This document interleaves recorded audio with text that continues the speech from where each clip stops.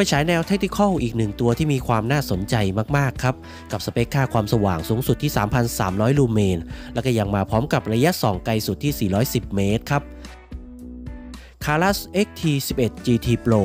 ถ้าต้องเลือกไฟฉายแค่หนึ่งตัวสำหรับการใช้งานพกพาหรือเข้าป่านะครับ ตัวนี้ก็จะเป็นตัวเลือกที่น่าสนใจมาก ๆ ความสว่างและก็ระยะส่องนั้นครอบคลุมการใช้งานเลยครับเดี๋ยวผมจะพาทุกคนไปรู้จักกับไฟฉายเจ้าตัว XT11 GT Pro ตัวนี้กันครับผม โอเคครับ ลุย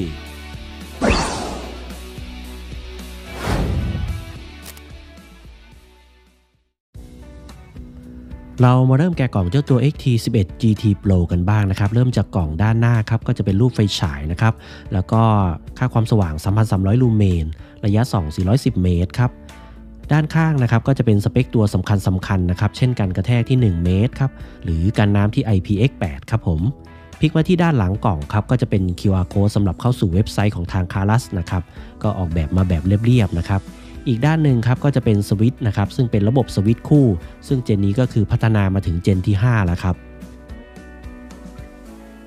พลิกมาที่ด้านหน้าก็จะทำการแกะกล่องกันเลยนะครับ แกะกล่องออกมาแล้วครับ เราก็จะเจอกล่องข้างในอีกชั้นหนึ่งนะครับ พอเปิดกล่องออกมาครับ สิ่งที่เราเจอก็คือจะเป็นซองไนล่อนนะครับ ซึ่งทางคารัสนั้นก็แถมมาให้ในกล่องเลยนะครับ ส่วนตัวไฟฉายนั้นก็จะอยู่กล่องด้านในครับผม คราวนี้เรามาแกะซองดูครับ เราก็จะเจอตัวไฟฉาย ซึ่งขนาดของตัวไฟฉายนั้นค่อนข้างที่จะกระชับมือนะครับ ขนาดไม่เล็กไม่ใหญ่จนเกินไป ในการใช้งานนั้นผมคิดว่าน่าจะเข้ามือเป็นอย่างดีครับเดี๋ยวเราจะมาดูรายละเอียดกันแบบเจาะลึกกันอีกทีหนึ่งนะครับ แต่ตอนนี้เราจะไปดูกันว่าในกล่องนั้นเขาให้อุปกรณ์อะไรมาบ้างครับผม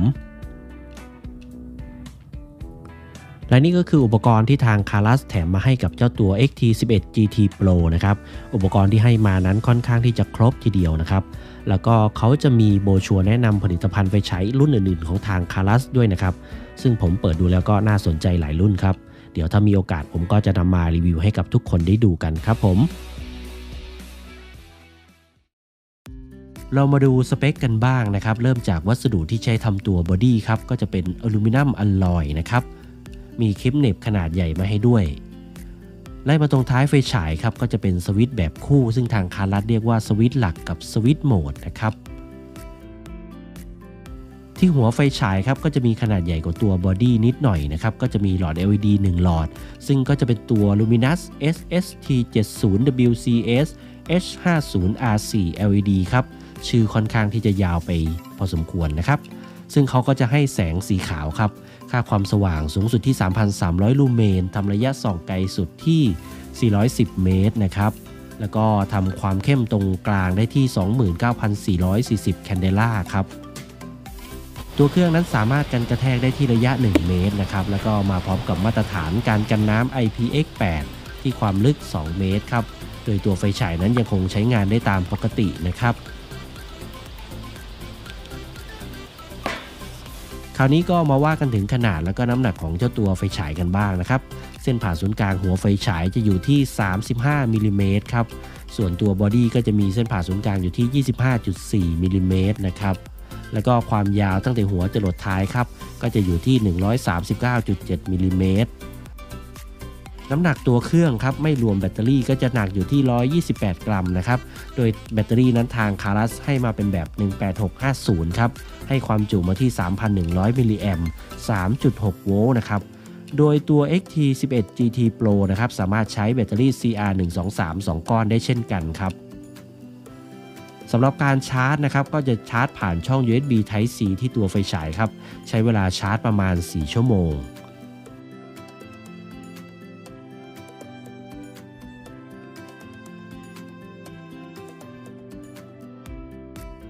ตัว XT11 GT Pro นะครับมีระดับแสงให้ใช้งาน 4 ระดับ แล้วก็ถ้ารวมกับแสงระดับสโตปก็จะเป็น 5 ระดับครับผม เรามาเริ่มกันที่ระดับโลครับ 10 ลูเมน จะส่องได้ไกลที่ 20 เมตรครับรันไทม์ที่ทำได้ก็คือ 120 ชั่วโมง ระดับ medium ครับ 200 ลูเมนครับส่องได้ไกลที่ 100 เมตร แล้วก็เปิดได้ที่ 12 ชั่วโมงนะครับขยับมาที่ระดับ high ครับ ค่าความสว่างที่ 200 ลูมอ่า1,200 ลูเมนนะครับ ก็จะส่องได้ไกลที่ 240 เมตร แล้วก็เปิด runtime ได้ 4 ชั่วโมงครับ ส่วนค่าความสว่างสูงสุดนะครับ 3,300 ลูเมน ก็จะส่องได้ไกลที่ 410 เมตรครับ เปิดได้ที่ 1.8 ชั่วโมงครับผมแล้วก็ในเรื่องของระบบต่างๆนะครับที่ทางคารัสใส่มาในไฟฉายรุ่นนี้นะครับก็จะมีตัวระบบ Temperature Control System นะครับ ซึ่งเขาจะทำการควบคุมระดับความร้อนในตัวไฟฉายในขณะใช้งานนะครับ แล้วก็ตัว XT11 GT Pro สามารถใช้งานในสภาพแวดล้อมที่ติดลบ 20 องศา ไปจนถึงความร้อน 60 องศาครับผม ที่สำคัญเลยนะครับ ตัวเครื่องมาพร้อมกับการรับประกัน 5 ปีครับคราวนี้เรามาดูระบบสวิตช์ของเจ้าตัว c a r a XT11 GT Pro กันนะครับเขามีสวิตช์อยู่ 2 โหมด นั่นก็คือโหมด Tactical ซึ่งเป็นโหมด Default มาจากโรงงานนะครับ และอีกโหมดหนึ่งก็คือโหมด Outdoor เรามาดูโหมด Tactical ก่อนนะครับ การเปิดปิดไฟฉายครับ เราใช้วิธีการกดที่สวิตช์หลักนะครับ กดขึ้นมา 1 ครั้งนะครับในโหมด Tactical เขาจะ Default ที่ระดับ Turbo นะครับจากนั้นในการเปลี่ยนระดับแสงนะครับ เราจะใช้กดสวิตช์โหมดที่อยู่ข้างๆกันนะครับ กดอีกครั้งหนึ่งเป็นระดับ high ครับ กดอีกครั้งหนึ่งเป็น medium กดอีกครั้งหนึ่งเป็นระดับ low นะครับเขาจะไล่จาก turbo high medium แล้วก็ low นะครับกดอีกครั้งหนึ่งก็จะเป็นเทอร์โบนะครับนี่ก็คือระบบสวิตช์ของเจ้าตัว c a r a s XT11 GT Pro นะครับกดอีกครั้งหนึ่งจะเป็นการปิดสวิตช์นะครับ คราวนี้ยังอยู่ในโหมดของตัว Tactical เหมือนเดิมนะครับ ตัวสวิตช์โหมดถ้าเรากดลงไปนะครับ ไม่ว่าจะกดครั้งเดียวหรือกดค้างไว้นะครับ เขาจะเป็นไฟสโตบนะครับ ผมจะกดให้ดูเลยนะ พอปล่อยเขาจะดับ แต่ว่าถ้าเรากดค้างไว้นานๆนะครับเขาก็จะติดค้างไว้นะเนี่ยเขาก็จะติดค้างไว้ เพราะฉะนั้นในการกดอีกครั้งหนึ่งก็จะเป็นการปิดนะครับสวิตช์โหมดตัวเดิม คราวนี้เราจะมาดูโหมดของอตัว outdoor กันบ้างนะครับ ตอนนี้ฝน น่าจะใกล้ตกแล้วนะครับ ต้องรีบรีวิว การเปลี่ยนจากโหมด Tactical มาโหมด Outdoor นะครับ เราจะทำได้โดยการกดสวิตช์โหมดค้างไว้นะครับ กดสวิตช์โหมดค้างไว้ จนกว่าไฟสถานะตรงนี้นะครับ เดี๋ยวผมจะเอาให้ดูใกล้ๆ ไฟสถานะตรงนี้จะเป็นสีเขียวหรือสีแดง เมื่อเป็นเปลี่ยนเป็นสีเขียว สีแดงเสร็จ เราจะกดสวิตช์หลักนะครับ เดี๋ยวผมจะทำให้ดูเลยนะ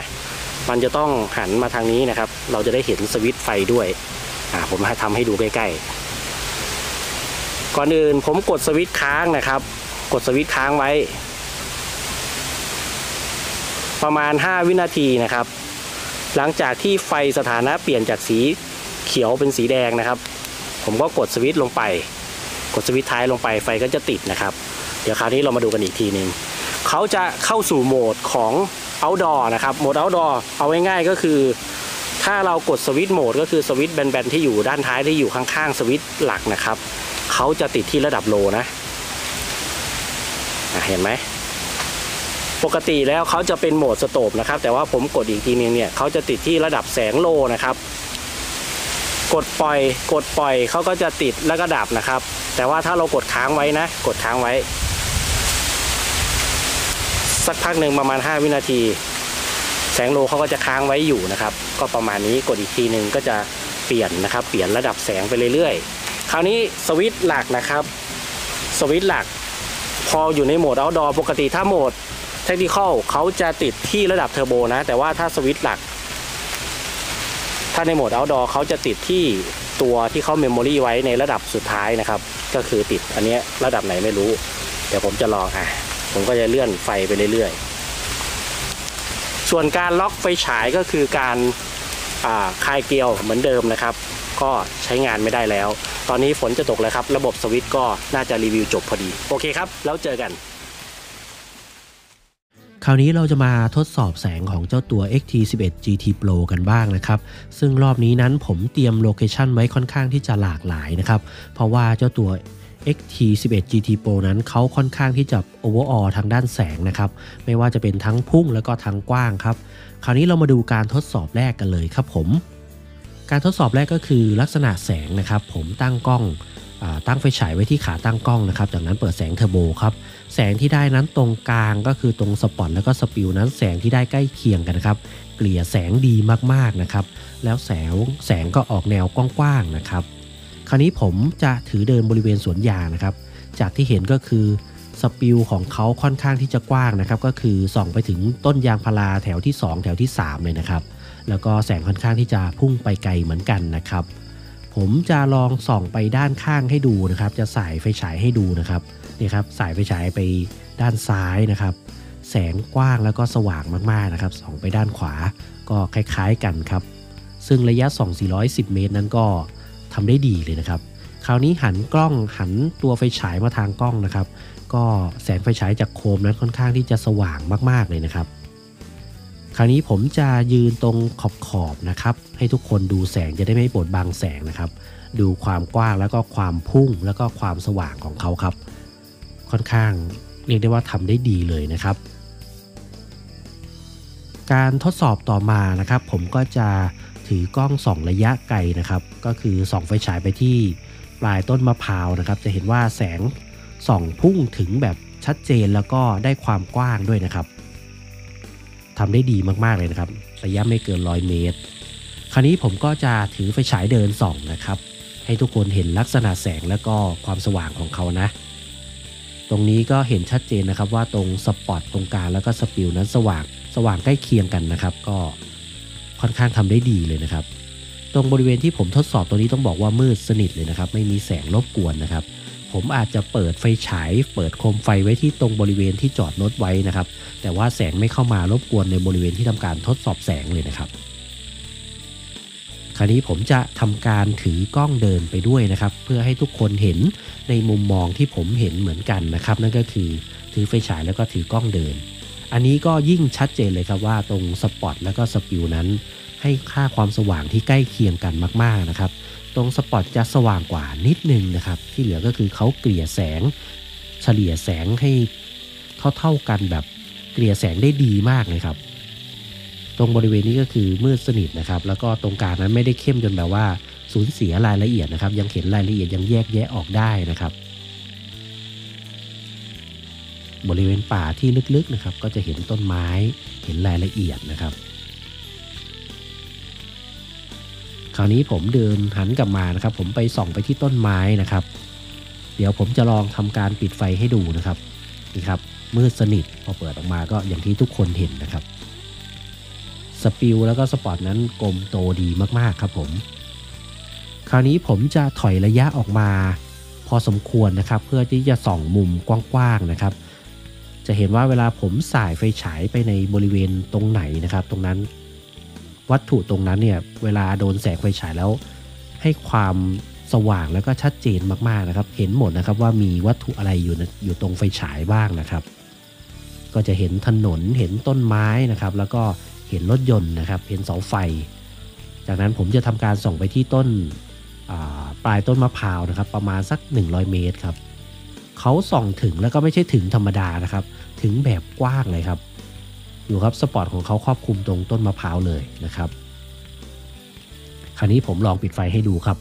ก็นี่ก็คือสภาพตอนปิดไฟนะครับ มีแค่โคมไฟตรงใต้ต้นไม้นะครับ ก็ต่างกันพอสมควร เรามาสรุปเจ้าตัว XT 11 GT Pro กันบ้างนะครับ เริ่มจากที่ราคานะครับ ราคาของเขาจำหน่ายอยู่ที่ 99.99 ดอลลาร์นะครับ ตีเป็นเงินไทยก็ประมาณ 3,400 กว่าบาทนะครับ ซึ่งแหล่งซื้อนั้นผมก็ใส่ไว้ที่ลิงก์ใต้คลิปได้แล้วนะครับ ซึ่งช่วงนี้ก็จะมีการลดราคาด้วยนะ จากปกติ 119.93 ดอลลาร์นะครับ ตอนนี้ราคาจำหน่ายก็จะอยู่ที่ 99.99 ดอลลาร์ครับผม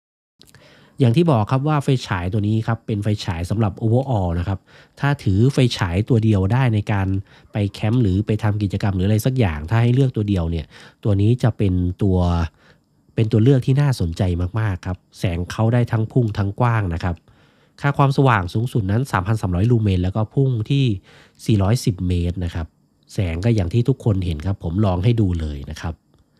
ส่วนในเรื่องของความร้อนนะครับ ก็ ที่ค่าความสว่าง 3,300 ลูเมนหรือระดับเทอร์โบนะครับ ผมเปิดไปประมาณ 2 นาทีความร้อนก็จะเริ่มมานะครับ แล้วก็หลังจาก 2 นาทีไปแล้วนั้นความร้อนก็ก็ถือว่ามาเร็วเหมือนกันนะครับ เพราะว่าตัว body ของเขานั้นไม่ได้ใหญ่มากนะครับ เพราะฉะนั้นการระบายความร้อนก็อาจจะทำให้ร้อนเร็วไปนะครับ หลังจากที่ใช้ระดับเทอร์โบต่อเนื่องเกิน 2 นาทีไปแล้วนะครับ แต่ก็เป็นปกติเป็นเรื่องปกติธรรมดาของไฟฉายแรงสูงนะครับ สำหรับใครที่ดูมาถึงตรงจุดนี้แล้วนะครับ ถ้ายังไม่กดไลค์กด Subscribe กดแชร์กดติดตามก็รบกวนช่วยกดติดตามเพื่อเป็นกำลังใจให้ผมด้วยนะครับ ผมก็จะมีไฟฉายหลาย ๆ รุ่นทั้งรุ่นเก่ารุ่นใหม่รุ่นที่น่าสนใจมารีวิวให้กับทุกคนได้ดูกันนะครับสำหรับวันนี้ก็จบลงเพียงเท่านี้ครับสำหรับการรีวิวเจ้าตัว c a r a s XT11 GT Pro ขอบคุณที่รับชมครับ แล้วเจอกันใหม่คลิปหน้าครับผม สวัสดีครับ